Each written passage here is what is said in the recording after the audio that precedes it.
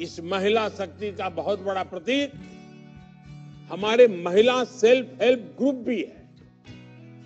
हमने self help group में काम करने वाली बहनों को जनधन खातों के माध्यम से, बैंकिंग सिस्टम से जोड़ा है। उन्हें बिना गारंटी ऋण में भी काफ़ी बढ़ोतरी की गई है।